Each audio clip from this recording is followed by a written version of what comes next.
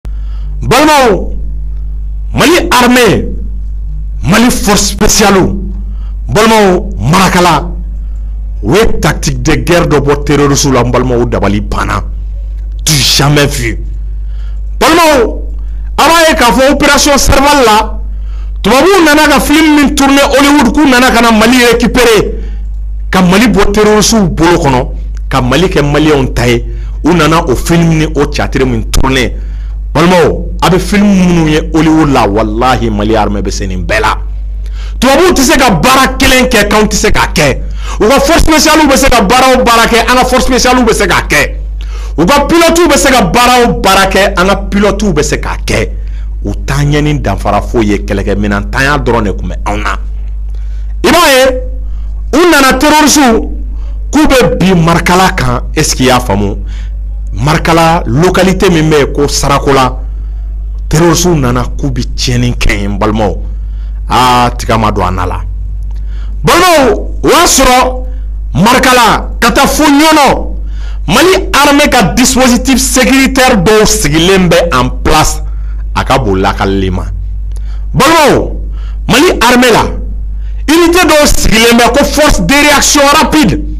kɛlɛ mana kɛ n balimaw i b'a ye k'a fɔ a mɛnlen miniti tan ka se tan ni duuru ma i bɛ bɔ min kalama i b'a sɔrɔ an ka hélicoptères wulila force spéciale b'a kɔnɔ i b'a sɔrɔ an ka avion minnu n'a bɛ fɔ a ma c 295 n'o y'an ka avion cargo ye i b'a sɔrɔ olu wulila force spéciale bɛ a kɔnɔna la o bɛ na ka na u larguer pour que jugu minnu bɛ k'a essayer k'u bɛ tiɲɛni kɛ ka dankari kɛ u la donc terrorisiw u nana k'u bɛ armée ka position attaquer balimaw u t'a dɔn bi mali armée la anw ka force spéciale n balimaw kana sɔn i n'u ɲɛ ka kɛ naani ye kungo kɔnɔna la sinon o don i ni niminɛ mɛlɛkɛ bɛ ɲɔgɔn ye balimaw aw ka bere rouge man ɲi u tɛ v ko fila n'u n'u ye vz sigi tɛ kan balimaw y'a sɔrɔ u kunkolo bɔ a la n'u y'a sigi disi kan balimaw o y'a sɔrɔ u bi ni fo f u y'a bɛɛ bɔ i b'a ye k'a fɔ fosiyaliw taara ne toz de kɛ marakala lukali tɛ min bɛ n'a bɛ fɔ a ma ko sarakala olu tɛsiww karila ɲɔgɔn na a de tun tun balimaw su ca ɲɛnama ye balimaw mugukan kɛra mugukan kelen de ye mugukan bɛ ka bɔ mali armɛ ka kote la an ka fɔsisalon de la k'a fɔ olu tɛ mugu ci paratatatata nɔ nɔ nɔ nɔ olu bɛ mugu ci de fiw panw fiw panw silasiya de bɛ olu ka marifa la u bɛ fagali kɛ de fois i b'a ye n'o ka sɔrɔ aw jɔlen bɛ aran na n'aw ye cɛ duuru ye u bɛ se ka cɛ kelen faga ka sɔrɔ naani ma bɔ a kalama tellement que u ka marifa silansiye b'a la balimaw mali armée ye terroriste fɛn fɛn nana attaque kɛ a si ma bɔ a la armée y'a bɛɛ faga k'a bɛɛ anéanti ka tila ka matériel de guerre ka tila ka saisi k'a minɛ u la balimaw mali armée ka kan atakeli a bɛ dabila asimi goyita tile la sadio kamara tile la mali armée tɛ se ka atake an ka kan tɛ se c'est à dire mɔgɔw k'u bɔ u hakili la an ka kɔngo a tɛ se ka atake balimaw mali armelen de don kote sugu bɛɛ la si tɛ arereni b'an bolo si b'an bolo hamɛ teri la vkili bɛnda b'an bolo ca an ka cɛw la bɛnnen hali kun an bɛka ye ko zdaremeri ye fɔsipsi wɛrɛw bila siri pasi e cɛ balimaw lareme mali an tren tɛ2siriri da la fmasi de fɔsipsi olu ka kɛlɛ de ye teri kɛlɛ ye o de la an ka kɛlɛ an ka finitigiw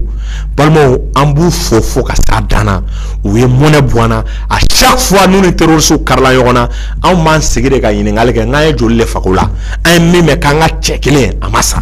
an ka maa kelen ma bɔnna ni na an b'a fɔ n ko bravo à l'armée malienne an b'u fo vraiment nin victoire belebeleba in na vraiment u y'an la nisɔndiya nin na halisa ala k'u kisi k'u tanga o tɛmɛlen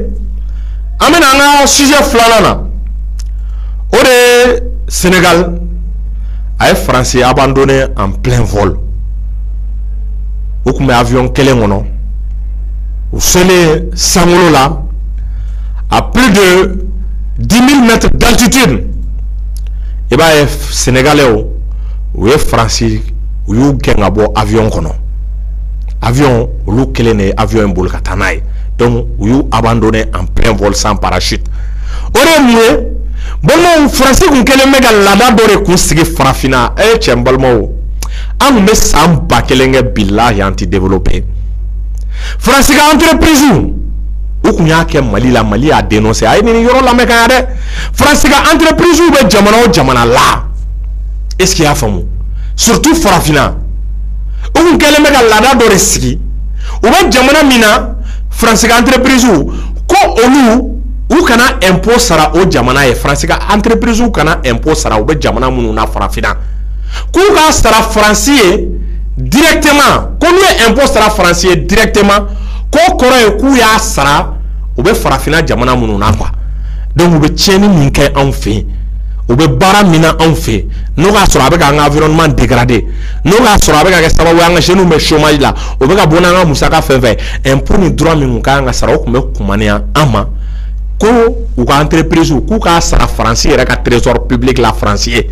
donc u kana sara tuguni mali ye u kana sara senegal ye mais k'a sara dɔrɔn entreprise ninnu yɔrɔ u sun bɛ faransi de mais u bolofaraw de bɛ k'an ka jamanaw la ɔ k'u ka taa sara u sun bɛ yɔrɔ min na n'o ye faransi yɛrɛ ye e cɛ n balimaw i b'a ye k'a fɔ ninnu bɛ impôt min générer san kɔnɔ minnu bɛ impôt min provoquer san kɔnɔ a ka ca milliard milliard milliards Afrique farafinna tun bɛ ka milliard milliard de perdu Mali Niger Burkina anw fɔlɔ de ye farafinna ɲɛ yɛlɛ an ko désormais France ka entreprise fɛn fɛn bɛ Mali la n'u bɛ ka baara kɛ Mali la u ka impôt bɛ sara Mali dugukolo de kan a tɛ taa sara France dugukolo kan aw baara min kɛ Sénégal filɛ k'an ladege u y'an copier. o de la an ye fila fila ta joma ye fɔ ye la k'a n'a hakili yira ɲɔgɔn na k'a yira ka bɔ faransi ka sira kan a bɛ k'i tilen kuwa mɛ adamaden kana kɔn ka adamaden tanu joona kuwa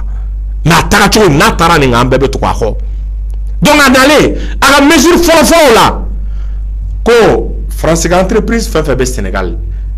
u bɛ tan kɛ u bɛ ka consommer senegal de i b'a ye u bɛ ka senegal u bɛ ka baara kɛ senegal environnement de la ɔ k'u bɛ impôt sara état sénégalais de a tɛ taa sara faransi territoire la a tɛ taa sara faransi trésor public ye tuguni ko banna e cɛ n balimaw nin ye perte ye faransi ma nin ye humiliation ye faransi ma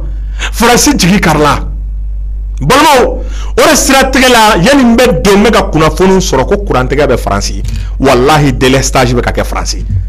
n'u ma fara mali la diɲɛ don o don u bɛ halaki de diɲɛ don o don i b'a ye k'a fɔ farasi ka e teri a bɛ mɛn se jamanaw bɛ ban farasi la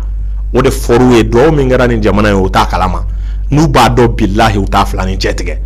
dɔn i b'a ye k'a fɔ sɛnɛgali kunna sɛnɛgali y'i sama ka bɔ u ka nin dubolo ɛpzsiyɔn in na e si y'a faamumu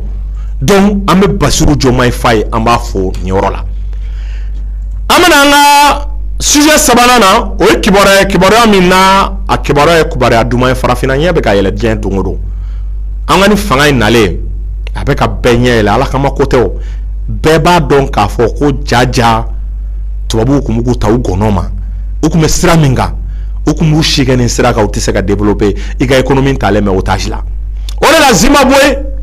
k'u ye monnaie kura créer n'o ye wari kura ye Zimbabwe y'a yɛrɛ ka wari créer ka bɔ tubabuw ka jɔnya juru la.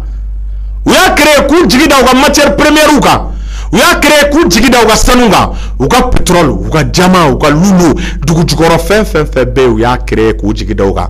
monnaie création tɛ ko gɛlɛn wari ye papier de ye hali sisan sisan sisan an ka imprimeuriw bɛ se ka wari créé mais a valeur bɛ kɛ mun de ye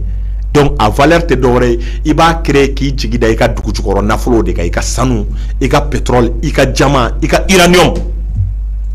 o de siratigɛ la sigi kelen bɛ dans les jours à venir AES ka bɔ CFA la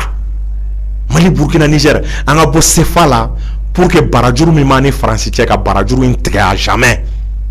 parce que i b'a ye à travers le franc CFA Faransi b'an ka économie contrôler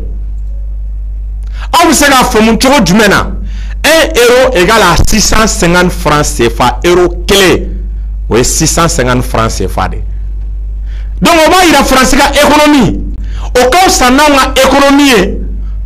fo plus de 600 fois ɲɔgɔn o bɛ se ka don hakili kɔnɔ cogo jumɛn na 1 euro 100 tɛ dɛ 200 tɛ 300 tɛ 400 tɛ 500 tɛ fo 600 est ce qu'il y'a faamu 600 fois o b'a yira faransi ka économie puissannen don n'anw ka économie ye fo 600 fois e anw bɛ k'olu la wagati jumɛn na an mɔden an tuloma sama fu fa fu n'an tora nin système na olu bɛ baara kɛ u tɛ surunya faransi la u tɛ kun faransi la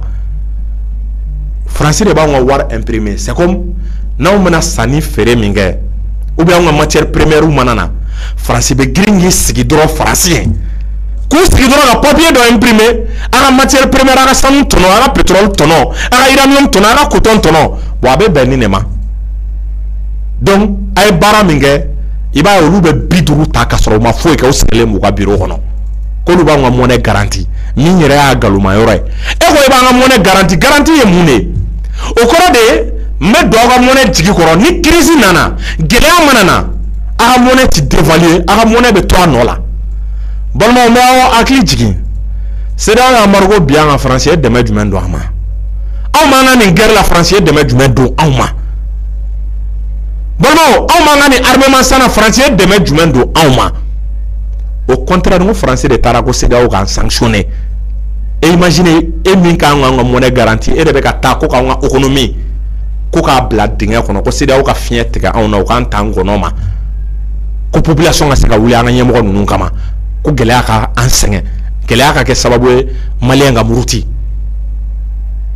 e faransi min kɛra o sababu ye alors que e de ko k'e b'anw ka wari garanti bɔ an bɛ nin baara in na a ka ca san bi naani ni kɔ ye donc tiɲɛ t'a kɔnɔ an ɲɛ yɛlɛnna